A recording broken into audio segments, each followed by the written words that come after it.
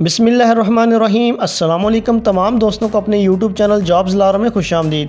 Video start करने से पहले वो दोस्त जिन्होंने चैनल को सब्सक्राइब नहीं किया, वो चैनल को सब्सक्राइब कर लें और साथ लगे बेल आइकन को लाजमी प्रेस करें ताकि आने वाली तमाम वीडियो का नोटिफिकेशन आपको बर वक्त और आसानी से मिलता रहे। डिस्ट्रिक्ट एंड सेशन कोर्ट में उम्मीदवारों के लिए बड़ी शानदार नौकरियों की अनाउंसमेंट की है, जिनमें उम्मीदवार अप्लाई कर सकेंगे। आज की इस वीडियो में हम आपको बताएँगे इसके लिए कौन कौन सी सामियाँ हैं, इसके लिए आपके पास तलीमी काबिलियत, तजर्बा और उम्र क्या होनी चाहिए और आपको किस अजला में तैनात किया जाएगा। और आपको कितनी सैलरी दी जाएगी, ये तमाम बातें आज की इस वीडियो में डिस्कस करेंगे। अप्लाई करने का मुकम्मल तरीकाकार आपको आज की इस वीडियो में बताया जाएगा। वीडियो को पूरा वॉच करें ताकि आपको मुकम्मल रहनमाई मिल सके। डिस्ट्रिक्ट एंड सेशन कोर्ट में उम्मीदवारों के लिए बड़ी शानदार नौकरियों की अनाउंसमेंट की है, जिनमें उम्मीदवार प्रोसेस सर्विस के लिए अप्लाई कर सकेंगे।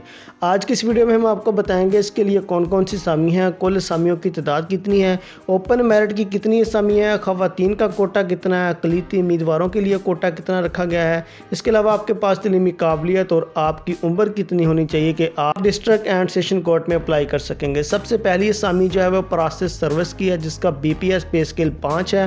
कुल असामियों की तादाद दो है। ओपन मेरिट की इसमें असामी कोई नहीं है। ख़वान कोटा जो कि दस फ़ीसद है, इसकी एक असामी है। अकलीती कोटा जो कि पाँच फ़ीसद है, इसकी एक असामी है। तलीमी काबिलियत आपकी मैट्रिक पास है तो आप प्रोसेस सर्विस के लिए डिस्ट्रिक्ट एंड सेशन कोर्ट में अप्लाई कर सकेंगे। उम्र आपकी 18 से 35 साल तक होनी चाहिए। उम्मीदवारान की उम्र का शुमार यकम जनवरी 2023 से किया जाएगा। उम्र की बलाई हद में तोसी मरवजा कानूनों कवायद के तहत दी जाएगी। उम्मीदवारान के लिए दरख्वास्त फार्म के हमरा बाकायदा तलीमी इसनाद डोमिसल शनाख्ती कार्ड, तजर्बा और करैक्टर सर्टिफिकेट वगैरह की मसदका नकूल। बीमा दो अदद तस्वीर आपने साथ लफ करके लाजमी बेचनी है। जबकि असल असनाद बीमा शनाख्ती कार्ड वगैरह उम्मीदवार बवक्त टेस्ट और इंटरव्यू साथ लाजमी लाने होंगे। बढ़ती खालस्तान आर्जी बुनियादों पर होगी। अगर आपकी कारकर्दगी अच्छी रही तो आपको परमानेंट भी कर दिया जाएगा। बाद इंतखब भर्ती होने वाले उम्मीदवार की डिग्रियों और करदार की बाकायदा छानबीन भी की जाएगी।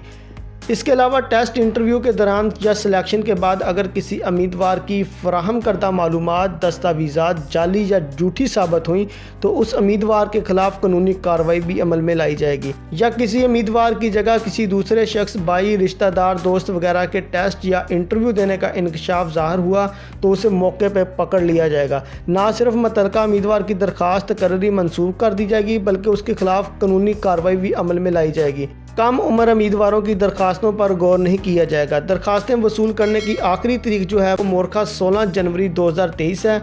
नामकमल और तखीर से मसूल होने वाली दरखास्तों पर अमल दरामद नहीं किया जाएगा।